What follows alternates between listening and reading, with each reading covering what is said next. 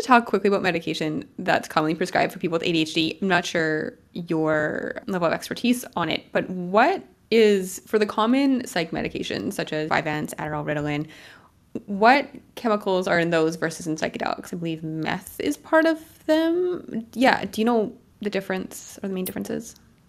So that's not my forte, but the little bit I can speak to would be so methylphenidate is generally what one of the bigger chemical components those have in them.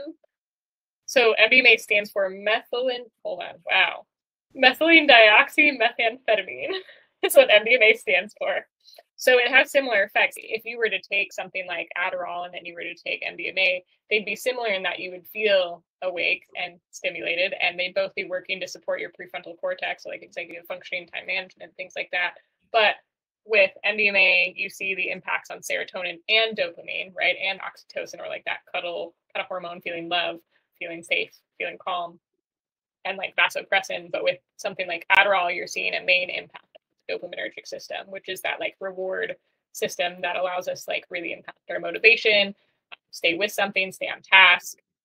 Oh, so my thought is, if I'm understanding this correctly, that they work similarly on the brain, but what I'm taking from it is psychedelics that we're talking about today would help you restructure your neural pathways or your neural networks to make potentially longer lasting changes versus when we take a psych med such as Adderall or I assume Vyvanse as well, that has a band aid effect. It's helping us in the moment to do what we want or think we want to do, but not creating a long term positive effect.